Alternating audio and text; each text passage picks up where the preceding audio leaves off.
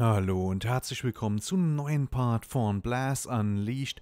Hier im heutigen Part möchte ich euch ganz gern mal so mein favorisiertes Buff-Food zeigen, beziehungsweise worauf ihr vielleicht ein bisschen achten sollt oder auch, dass ihr überhaupt ans Buff-Food denkt, also an eure äh, Möglichkeiten, eu euren Charakter hier zu stärken, vielleicht Schwächen auszugleichen oder eure Stärken einfach noch stärker zu machen. Könnt ihr auch ein bisschen ausprobieren, was da so ganz gut funktioniert. Möchte ich mich gar nicht so sehr festlegen. Kommt natürlich auch ein bisschen auf euren Charakter an. Trotzdem möchte ich euch da so ein paar Dinge mal zeigen, die ich so generell empfehlen würde. Ja, zum einen hat man die Elixiere, die man hier trinken kann, die die, ähm, ja, zum Beispiel jetzt hier in dem Fall die Angriffskraft um 30, äh, 30 Minuten lang um 10% steigern. Also die Dinger scheinen wohl 30 Minuten zu laufen. Müssen wir gleich mal gucken, habe ich gar nicht so drauf geachtet, wie lang die letzten Endes laufen. Es reicht auf jeden Fall normalerweise aus. Also hier haben wir 30 Minuten und die Wundermittel, die halten 60 Minuten und die haben dann auch wieder verschiedene äh, Möglichkeiten oder Verstärkungen. Die sind auch richtig stark. Hier erhöht die Angriffskraft um 60 äh, Minuten lang um 15% oder halt, halt hier die Crit-Chance um 12%. Das ist halt schon jede Menge.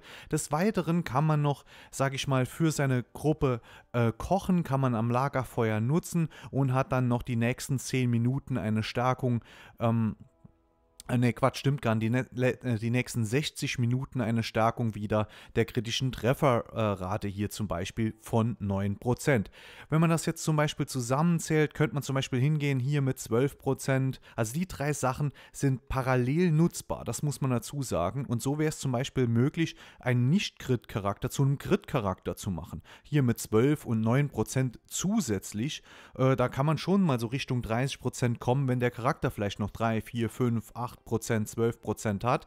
Und dann kann man hier schon einiges auslösen, beziehungsweise, wie ich schon sagte, eine Schwäche zum Beispiel ver, ähm, ja, ähm, ausmerzen. Oder ihr könnt hingehen hier über Wundermittel der Klingen und Elixier der Klingen, zum Beispiel eure Angriffskraft dann letzten Endes um 25% steigern. Und das ist schon einiges, wenn man 6, 7, 8, 9, 10.000 Schaden hat und dann das nochmal um diesen Wert halt eben steigern kann. Das ist halt schon heftig. Ja, des Weiteren, wie ich schon sagte, kann man dann hingehen und zum Beispiel seine Crit-Chance noch 9% nach oben setzen. Es gibt noch andere Möglichkeiten, man kann seine, ähm, seinen kritischen Trefferschaden nach oben setzen und so weiter. Ich habe mich jetzt mal zum Test für diese Variante entschieden. Wichtig ist nur, dass ihr überhaupt da was macht und überhaupt dran denkt, sage ich mal. Und dass es nicht ganz sinnlos ist. Also zum einen haben wir hier die geteilten Mahlzeiten. Was ist da so ganz sinnvoll? Gehen wir von hinten nach vorne, sage ich mal. Da haben wir einmal das Rindfleisch-Curry, das halt 20% Crit-Schaden erhöht. Ähm, das ist natürlich für zum Beispiel jetzt kritische äh, oder Charaktere, die oft kritten, natürlich gar nicht mal so schlecht, nochmal 20% mehr Schaden zu machen. Das kann man halt machen. Oder das Tigergarnelen, ähm, die Tigergarnelen-Maultaschen würde ich da empfehlen mit 9% Crit Rate, die ich mir auch gekauft habe. Dann seht ihr, was da noch zu drin ist. Hier die Lebenspunkte um 450 erhöhen würde ich nicht empfehlen. Die Angriffskraft um 120 erhöhen. Ja, da ist immer so meine Denkweise, ihr könnt mit einem A-Slot maximal, glaube ich, 530 Attack dazu bekommen. Und dann kriege ich hier über so ein Buff-Food 120 dazu. Wenn ich zum Beispiel hier rüber, ich kann äh, 8,1% maximal Crit Rate dazu bekommen bei einem A-Gear und hier bekomme ich dann 9%. Also ich bin über einem Slot drüber sozusagen. Und bei dem hier bin ich nur im Slot drin, ganz easy. Also 120 Angriffskraft ist einfach viel zu wenig. Ja, vor allem, wenn ich mit, äh, mit anderem Buff-Food dann wiederum 10 oder 15 Prozent Angriffskraft buffen kann. Ähm, dort allerdings auch nur die Crit Rate um 9 oder 12 Prozent oder sowas erhöhen. Also das Verhältnis stimmt einfach nicht. Da hole ich mir einfach lieber da hinten die, die Angriffskraft mit und hier dann die Crit Rate, sage ich mal. Bei den Elixieren oder bei den, ähm, beim Wundermittel dann die Crit Rate mit. Und dann würde ich, äh, äh, und dann hier zum Beispiel den Crit-Schaden oder die Crit-Rate, äh, Quatsch, jetzt habe ich es andersrum gesagt, bei den Elixieren oder Wundermittel eher die Angriffskraft mitnehmen und hier dann eher die Crit-Rate oder der kritische Treffer Schaden. So wäre da meine Auffassung. Was auch noch nicht schlecht ist, gerade wenn man gegen Gideon kämpft, Probleme hat oder noch ein Anfänger ist oder generell keinen Heiler dabei hat oder sowas, ist hier der, der frische Obstkuchen, der alle 5 Sekunden 1,5 der maximal, also 1,5 Prozent der maximal maximalen Lebenspunkte regeneriert. Wenn ihr dann noch einen Ranger dabei habt, der noch ein Mark, ein ordentliches Mark setzen kann, das auch noch heilt, ist das natürlich auch nicht schlecht. Also das wären so meine Empfehlungen, was jetzt hier die geteilten Mahlzeiten angeht. Kann ja einer in der Truppe machen. Ja, und dann haben wir hier noch die Elixiere. Gehe ich auch natürlich nur auf die stärksten jetzt ein. Äh, bleiben wir mal bei den Elixiere. Was haben wir hier? Ich habe ja schon gesagt, Elixier der Klingen, das ist jetzt das, was ich, was ich meine. Da steht nicht 120 Angriffskraft, sondern mal 10%. Das ist natürlich schon was ganz anderes. Außer ihr seid ganz am Anfang und habt nur äh, 1200 Schaden äh, oder Angriff, dann wäre das natürlich der, genau der gleiche Wert. Aber davon gehe ich jetzt mal nicht aus. Die Elixiere sind generell eigentlich relativ gut. Auch hier die Verteidigung 15% zu erhöhen, kann eventuell sinnvoll sein, je nachdem, wenn ihr da Probleme habt. Hier könnt ihr euch zu einer Glaskanone äh, sage ich, äh, sag ich mal, mutieren äh, oder, oder halt eben äh, zu einem äh, zu einem Tank. Ja, und hier zu einer Glaskanone, so rum ist es richtig. Würde ich aber allerdings nicht empfehlen. Da würde ich eher Alex Elixier der Klingen äh, holen. Da habe ich nur 10%, wen äh, Quatsch, 5% weniger Schaden. Ähm, also Schadensverlust und habe aber die 20% Verteidigung. Äh, ist nicht verringert. Ja. Zumindest mal, ich denke mal, dass es Prozent sind. Da steht ja nur Verteidigung um, minus 20. Das glaube ich jetzt nicht. Jo. Ähm, äh, ja, bleiben wir mal bei den Elixieren. Also was ist da ganz sinnvoll? Gehen wir jetzt nur mal wirklich auf die sinnvollen. Also hier erhöht die Verteidigung 15%, ist natürlich nicht schlecht. Damit könnte zum Beispiel jetzt so ein Ranger wie ich seine Schwäche Verteidigung auch ausmerzen. Die ist nämlich echt schwach bei mir. Das würde zum Beispiel vielleicht Sinn machen, dass man nicht so schnell umkippt. Kann man das ganz gut nutzen, wenn ich jetzt nicht weiter auf Glaskanone spielen wollte. Elixier der Klingen, habe ich schon gesagt, wäre absolut empfehlenswert. Hier PvP-Schaden kann man zum Beispiel buffen. Ähm, hier auch die Max maximale LP 30 Minuten lang um 10% zu erhöhen, ist vielleicht nicht ganz schlecht, kann man auf jeden Fall mal machen. Ja, und hier Elixier des Jägers kann man auch machen. Äh, wenn man an, dann alles auf Crit zum Beispiel holt, kann man 9% über die Mahlzeit holen, nochmal 8% hierüber und 12% übers Wundermittel. Dann ist man bei 29% Crit Rate, die man alleine nur über Buff-Food holen kann. Das ist schon richtig heftig. 29% Crit Rate nur über Buff-Food. Ja. Elixier der Zerstörung, hier kritischer Trefferschaden könnte man auch machen, 15%. Ist nicht schlecht, kann man machen. Das sind alles so Sachen, die würde ich empfehlen. Ähm, allerdings, wie gesagt, würde ich auf tendenziell zweimal auf Schaden und einmal auf Crit gehen, aber das ist, da kann jeder so ein bisschen rumspielen. Ja, was haben wir hier noch Schönes? Hier auch nochmal Elixier, äh, Wundermittel, die Wundermittel halt eben, die man auch noch einnehmen kann. Hier äh, kritischer Trefferschaden ist natürlich auch absolut nice. 25% mehr kritischer Trefferschaden ist schon jede Menge. Äh, die Crit Rate generell 12% hochsetzen, habe ich ja schon oft genug jetzt davon geschwärmt, kann man auf jeden Fall machen. Ähm, was haben wir hier noch? Nochmal auch ähm, mehr Leben kann man auch hier äh, mit reinholen, auch vielleicht für so eine Schwäche auszugleichen. Da könnte man zum Beispiel zweimal Leben mitholen äh, und einmal Crit Rate, das wäre möglich. Ähm, ja.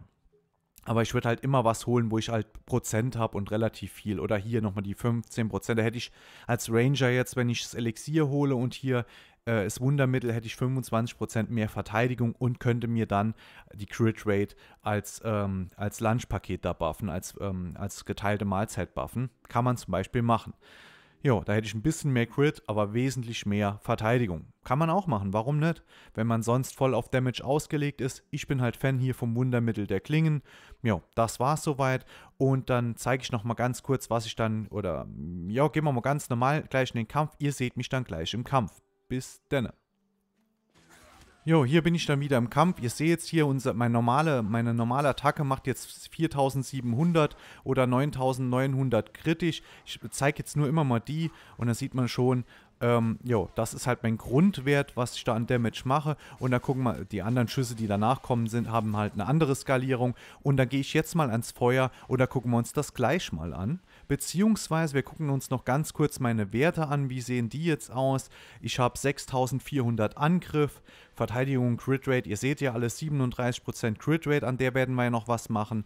Und dann werde ich jetzt gleich mal jo, die Sachen hier halt eben benutzen. Oder wisst ihr was, bleibt einfach dabei. Wir gehen jetzt mal zum Feuer. Ich wollte es eigentlich rausschneiden, aber was soll's. Ich hole es jetzt einfach mal so komplett mit rein, wie das dann generell funktioniert. Also das Ganze hier mache ich natürlich nur des äh, Testzwecken oder aus Testzwecken. Normalerweise würde ich das natürlich so hier nicht machen. Das macht man nur in Dungeons oder wo, ich, wo man das dringend braucht und so weiter. Aber ich möchte es einfach nochmal zeigen, so an die deutsche Community, was das halt eben ausmacht. Hier haben wir jetzt zweimal der Klingen, ähm, dass wir da eben im Schaden da ordentlich nach oben kommen. 6400, wie gesagt, ist mein grundsätzlicher Damage, der da am Start ist. So, und da haben wir noch die Tigergarnelen Maultaschen. Und jetzt seht ihr das, jetzt ist hier nicht mehr Angriff 6400, sondern einfach mal 8000. Das ist schon mal ein Riesenunterschied. Und jetzt kann ich meine, das war meine Idee davon. Die 8000, das ist ja gut und schön, das bringt mich schon mal ordentlich nach vorne.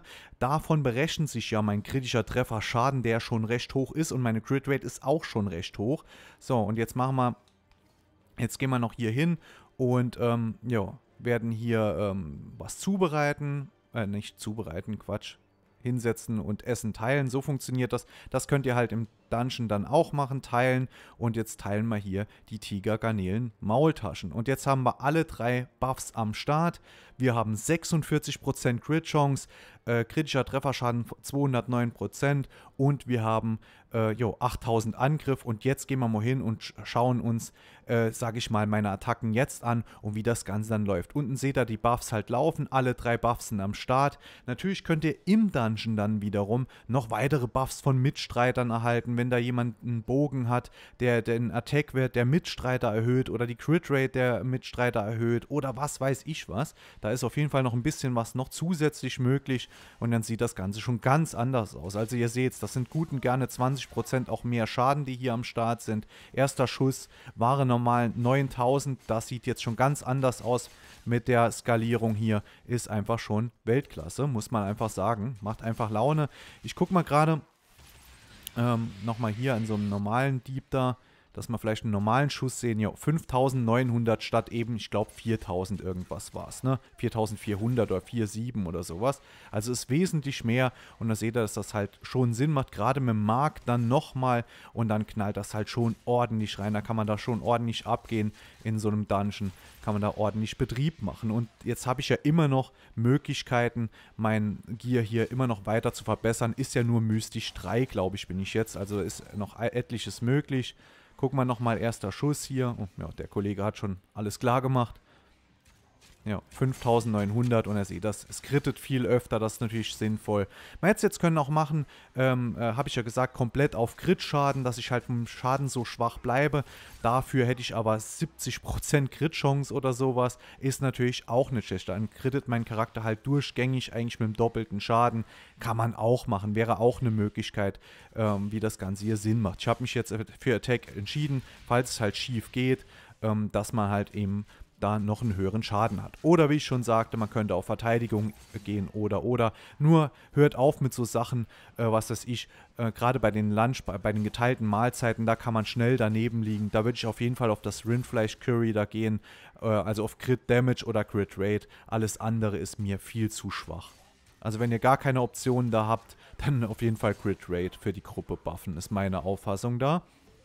Ja, und ihr seht, das geht halt ordentlich ab, macht schon absolut Sinn und weiß oder ist dann in einem Dungeon gerade absolut nützlich zu gebrauchen. Es war mir wichtig, das mal nochmal mitzuteilen. Das habe ich mal auf, im Englischen schon mal gemacht und ich wollte es einfach nochmal hier so zeigen, dass es schon sich absolut lohnt. Ich hoffe, ich konnte euch damit ein bisschen helfen. War eine kleine Investition jetzt für mich, ähm, aber ich hoffe, das Ganze kommt dann ganz gut bei euch an. Also in Zukunft, wenn wir von Barfoot reden, wisst ihr, was ich da ungefähr gemacht habe. Vielleicht zeige ich danach immer, ob ich Klingen gewählt habe oder vielleicht sogar irgendwas Defensives oder was weiß ich was.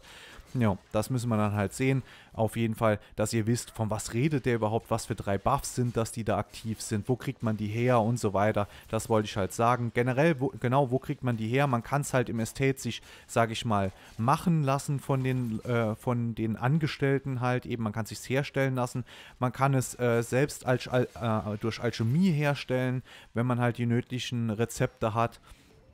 Ähm, und äh, ja, halt eben die, den, mit den äh, nötigen Loot. Dann kann man sich des Jägers und so, das ist eigentlich relativ gut herstellbar. Das kriegt man eigentlich ganz gut. Äh, zum Beispiel, also diese Crit-Rate-Dinger da. Ja, Oder man kann sich halt einfach im AHA kaufen von Leuten, die es eben haben. Ja, das ist alles. Mehr gibt es dazu nicht zu sagen. Ja, ich hoffe, das Ganze hat euch gefallen, euch irgendwie weitergebracht. Und wir hören und sehen uns. Haut rein, bis dann. Ciao.